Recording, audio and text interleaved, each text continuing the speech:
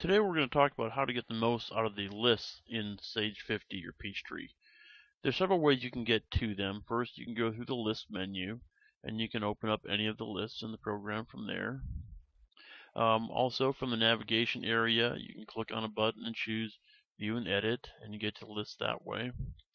Or from inside any of the Task or Maintain windows, you'll see a List button up at the top. Now, I think a lot of people really just see these lists as a way to open up an existing transaction. So if you're in sales invoicing, you might click the list button and then just manually scroll through the list until you find the one you want and double click on it to see the details of that transaction. And that's good, that's one of their main purposes, but there's a, a lot there that I think people are overlooking. Um, for example, just finding that transaction originally um, there's some ways you can make it simpler. It's not uncommon for me to get calls from people who are looking at their lists and are concerned because everything is out of order.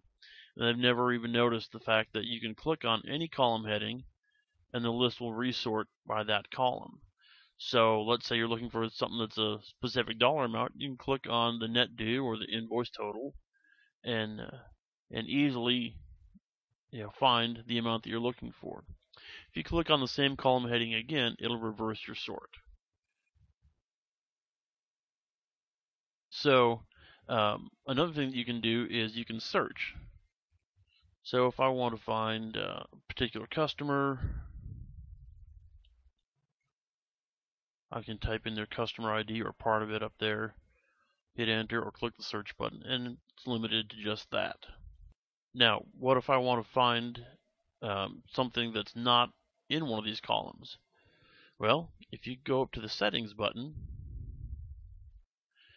you'll get a list of different columns that you can add to your view here. So maybe want, we want to see the whole customer name.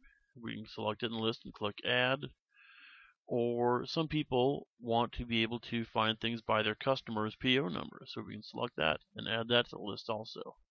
Now let's take our customer name, we'll highlight it, we'll use the move up button to put the name right after ID. And in order to make room for these new columns, you might want to get rid of some of the old columns that you don't use. For example, period is kind of redundant when you also have the date column in there. So we'll select it and click remove. Click OK, and now we can see that we have the customer name and the PO number in there both. Uh, let's say we decide we don't really want the customer PO number on the end. No problem. We don't even have to go back to the settings button. You, can just grab the column heading, drag it, and drop it wherever you want. And you can adjust column width just by putting your cursor up between two column headings and dragging left or right to adjust the width. Now that we've got our extra columns in here, we can search by those just as easily. So if we want to find a customer PO number, we can enter it in the search field and then choose customer PO, click search. And it helps if you put the right number in there. And now you really can find it. And once you find the transaction you're looking for, of course, you can double click on it to open it, but you can do more than that too. Uh, for example, you can uh, you can print this list, or you can send it to Excel, um, attach it to an email as a PDF, or just save a PDF.